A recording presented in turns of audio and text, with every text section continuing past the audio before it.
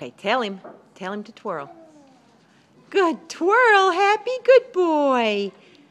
Okay, you want him to do another trick? You want him to, um, Happy, sit. Hey, Happy. How about you make him jump? Hang on. Sit, Tell him sit. Good boy. Tell him he's a good boy. He likes that. Now, what you're going to do is you're going to go like this and say, pretty boy, and then you give it to him, okay? Hang on. Okay, go ahead. Oh, he wants to do pretty boy. Tell him to give you a high five. Yay! Good job. He moved in the other Good boy, Happy. Here, give him another one. Up oh, here, you give him this one.